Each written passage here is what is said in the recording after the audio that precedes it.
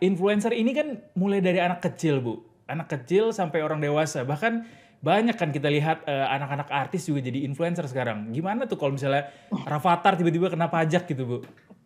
Ya enggak lah, kalau Rafathar pasti ikut ayahnya dong, ikut Raffi, ikut NPWP Raffi pasti kan uh, gitu. Uh, Prinsipnya satu NPWP itu untuk satu keluarga.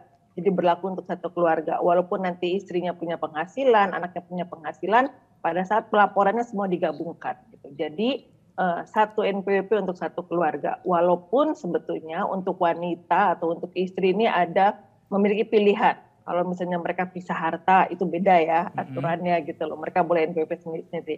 Atau mereka juga bisa memilih terpisah. Gitu. Tapi khusus untuk anak maka dia harus ikut pada orang tuanya. Kalau Karena belum mencukupi syarat umur tadi ya Betul, Bu, ya? ya secara subjektif dia belum memenuhi syarat. Hmm, baik.